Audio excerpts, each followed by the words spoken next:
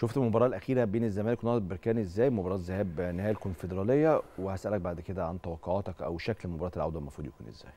طبعا آه، نتيجة ما كانش يتوقعها الكثير من جمهور نادي الزمالك. النتيجه ولا الأداء؟ هتكلم عن النتيجة الأول لأن ماشي. في الآخر كرة القدم نتائج. أصل هي النتيجة تمام. لا مش تمام. مش تمام. آه لا،. مش تمام. ليه هنقول ليه؟ يلا. ليه مش تمام؟ لأن آه، فرقة نهضة بركان مش من الفرق العالية فنيا. ناقصها غيابات تقريبا عدد خمس لعيبة من اللعيبة الأساسية مش موجودين عن التيم الأساسي. آه آه، كان معاهم عامل الأرض والجمهور ومعاهم مدرب معين الشعلاني اشتغل في الدوري المصري. فعنده مدربين خبرات كبار. يعني إيه لعيب مصري ثقافة اللعيب المصري آه، ح- حجم وقيمة نادي الزمالك في الدوري المصري وفي أفريقيا. كل دي عوامل أنا معاك فيها إنما آه، نادي الزمالك ما عرفش يدير جميز اللقاء بشكل جيد جدا. وبالأخص إن أنت عارف إن أنت هتواجه جمهور شرس. آه، هتواجه هم قوتهم في الكرات الثابتة وانت ما تعاملتش معاها بشكل كويس.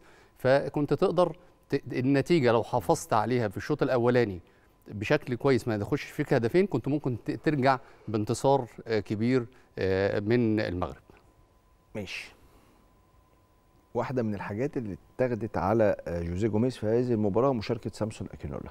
انت كنت مع الناس اللي انتقدت هذا الأمر ولا شايف إن كان مشاركة سامسون منطقية وعادية؟ لا أنا كنت شايف إن مشاركة سامسون كانت في وقتها. في وقتها؟ طبعا. آه ده عكس كل اللي اتقال. كل بعد كل اللي اتقال ده. آه. لأن أنت بتتكلم في سامسون في الآخر بس ما كنتش يعني يعني ما كنتش حابب إن الجزيري يبدأ المباراة. آه يعني أنت كنت عايز سامسون يلعب مهاجم. آه مهاجم ماشي صريح. هو هو الكلام إن سامسون كان يلعب جناح ولا لأ؟ بالظبط كده لأن هو بدأ بيه بالجناح وبعدين اما نزله واحد تحت واحد يعني اتنين فراوده بس واحد تحت واحد.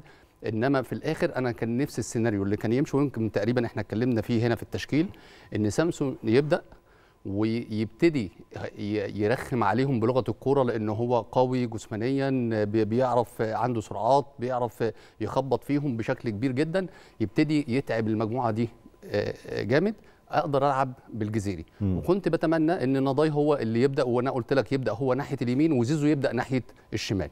لأن طبعا زيزو عنده الخبرات إن لما يلعب ناحية الشمال هيعرف ياخد الكرة ويقطم لجوه ويخش ويشتغل بشكل كويس جدا. نضاي مش هيبقى عنده الخبرات بتاعت زيزو فنديله الحتة اللي هو بيلعبها أفضل ان هي الجبهه اليمنى إن ونلعب إن الشوط الثاني تحصل تغييرة سريعة إن سامسون يطلع والجزيري يشتغل زي ما إحنا شفناه كده وقدر يخطف هدف إدى الأمال كبيرة جدا لنادي الزمالك إن ان شاء الله يوم الأحد القادم يتوج بالبطولة الكونفدرالية.